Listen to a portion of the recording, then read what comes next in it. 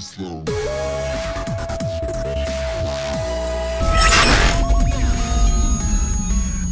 Eh bien salut à tous les amis, c'est Virtueux, j'espère vraiment que vous allez tous très très bien. Aujourd'hui on se retrouve sur GTA 5 Online pour vous faire part d'un glitch qui vous permettra tout simplement de rouler dans votre garage.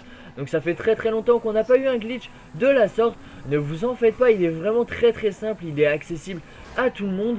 Euh, même un débutant sur GTA 5 pourrait réaliser ce glitch, c'est pas comme l'autre glitch où il fallait accélérer puis sélectionner le D-pad, ça n'a strictement rien à voir, c'est vraiment super simple.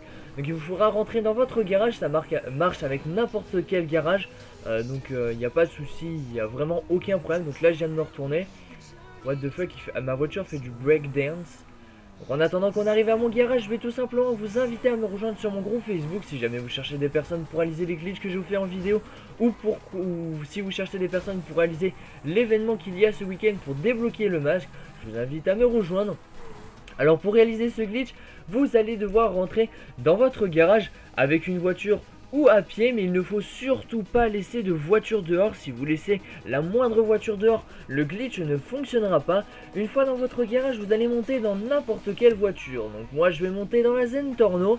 Vous montez dans la voiture vous attendez bien que le moteur s'allume et une fois que le moteur est allumé vous allez descendre de la voiture et aller dans votre appartement.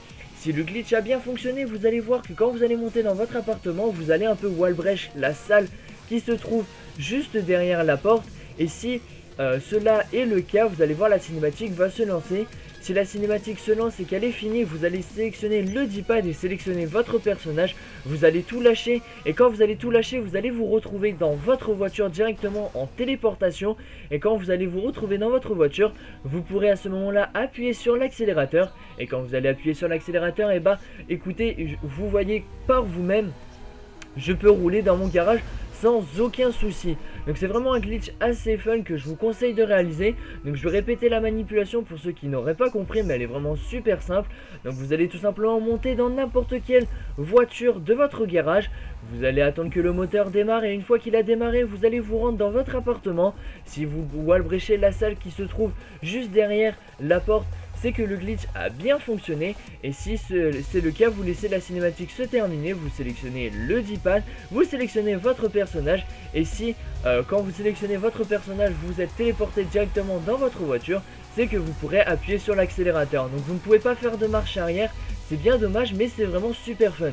Donc voilà on arrive déjà à la fin de cette vidéo. En tout cas j'espère vraiment qu'elle vous aura plu. N'hésitez vraiment pas à lâcher un maximum de likes. Et pourquoi pas venir vous abonner à ma chaîne. Partager cette vidéo sur Facebook et Twitter ça me ferait vraiment super plaisir. Allez ciao bye bye tout le monde.